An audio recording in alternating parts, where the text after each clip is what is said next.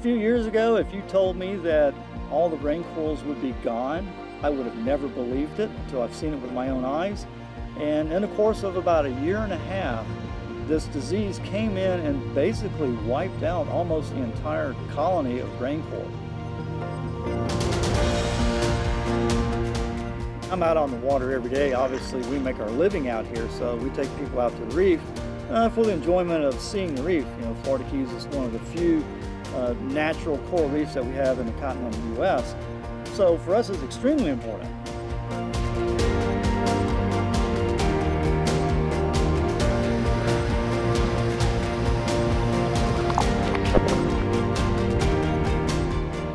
Right now, we're, what we're doing is we're holding the corals uh, safely and healthy in, in our, in, in, our care.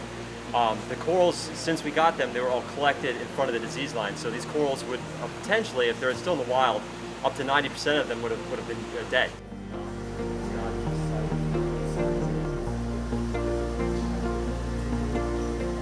The state that we live in is basically due to historic coral reefs, coral reefs that were around in, back in the uh, back a million years ago. Um, they protect us from hurricanes. They produce, uh, they, they, give us thousands of dollars a year, millions of dollars a year in, in economic return from divers, uh, people down that enjoy, enjoy the Keys as uh, recreational boaters.